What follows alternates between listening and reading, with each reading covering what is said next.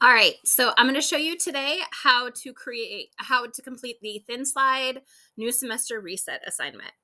So for this assignment, you are going to go to your directions on slide number two. And the first thing it says is to find your slide number. So if you are in class when this is assigned, you'll get assigned a specific number.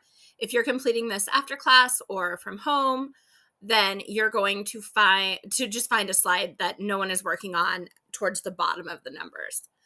Make sure you do not touch anything else, anyone else's slide. And a great idea is to have the very first thing you do put in the created by, put your name in there to claim that for yourself. Okay? So, um, next thing is you're going to think about a word that describes what you would like class to be like. So, when I'm thinking of my word, my number one thing is always like kindness. So I'm going to go to thesaurus.com and I'm going to do a search for kindness because I want something kind of creative. So I want, ooh, okay. So I want some words that are going to kind of represent what um what I want for class, what I want people in class to feel like, to be like. Um and I am going to actually choose what am I actually going to choose? I'm going to choose thoughtfulness. So in my oh, Okay, so in my example, I'm going to create a text box here and I'm going to put my word thoughtfulness. So that's something that I want to have in class. And this is my chance. Well, we'll leave that for right now. So that's going to be my one word. So I created a text box, made my word. I can put it wherever I want. I'm just going to leave that there for now. Okay. Then I go to directions and I need a picture to represent my word. So I'm going to come back over here. I'm going to go insert image, search the web, and see what. Let's see, I spelled it wrong too. Thoughtful. Okay, and see what Google has to share with me.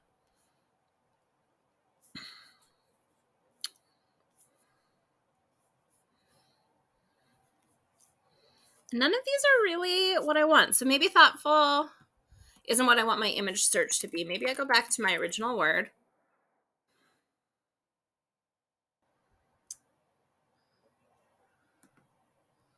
Okay, and I can actually see that. So I'm going to make it bigger, but it looks cute. What do we got?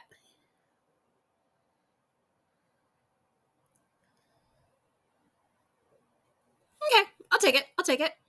Um, okay. So I've got my word, I've got my picture. I'm gonna come back to my directions.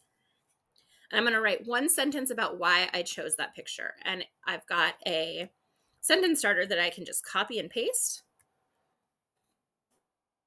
I'm gonna create a new text box again. I'm not gonna worry about where things are formatted. I'm gonna put them in here. Okay, so I chose the word thoughtfulness because I would love to be in a classroom where people are intentional about their kindness. So, just a sentence that says why I picked that word, what I want from that word. Okay, I'm going to go back to my directions and describe what needs to happen to make that word true. Okay, so again, I'm going to copy and paste. I'm going to make my life easy. Why not? I am going to get a text box.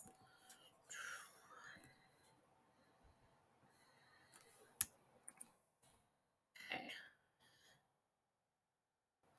And I'm going to set this up kind of like a list trying to make it again, make my life as easy as I can. Okay. So to achieve this, I can help my partners Oh no, I can't spell. Partners when they're stuck.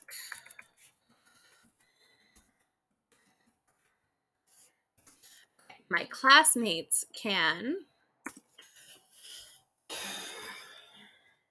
See what can my classmates do? My classma- classmates can cheer others on when they are doing something good.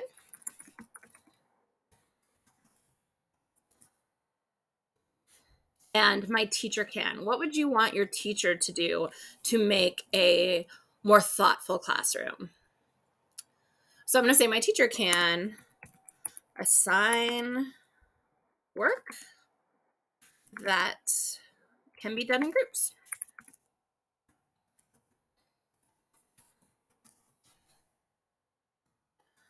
I'm going to take a second and format this here. Okay, so now I just have to make my slide look pretty. And it doesn't really matter where anything is, so I can I can use whatever text I want. Let's see, maybe I want to change the color. Um, let's see. Uh, I can make the these sentences bigger. I can put them wherever. Um, again, change the font, change whatever, and know that I am trying to create a slide that is visually appealing and gets my idea across. You are going to be presenting these. So if you look at slide number four right here, it's going to tell you that I get 10 points for having my slide done following the directions and then 10 points for my presentation. And when I'm getting my grade on my slide, I'm going to answer it of is the slide cool, pretty, easy to read? All of those things need to be in there. All right. Uh, good luck, and I can't wait to see what you come up with.